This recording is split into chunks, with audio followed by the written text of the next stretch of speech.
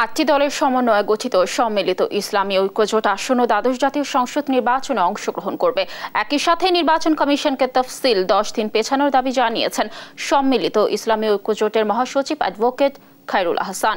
দুপুরে জাতীয় প্রেস ক্লাবে আয়োজিত সম্মিলিত ইসলামী ঐক্যজোটের সংবাদ সম্মেলনে তিনি এসব কথা বলেন।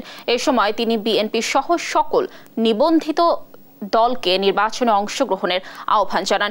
এ সময় উপস্থিত ছিলেন নিজামে ইসলাম বাংলাদেশের চেয়ারম্যান মাওলানা হারিসুল হক, বাংলাদেশ জনসেবা আন্দোলনের chairman Maulana Yamin Hossain Azmi, Bangladesh Islamic liberal পার্টির চেয়ারম্যান মাওলানা আতাউর রহমান আতিক, বাংলাদেশ মুসলিম জনতা পার্টির চেয়ারম্যান মাওলানা আজিজুর রহমান সহ সম্মিলিত ইসলামী ঐক্যজোটের অন্যান্য নেতাকর্মীরা।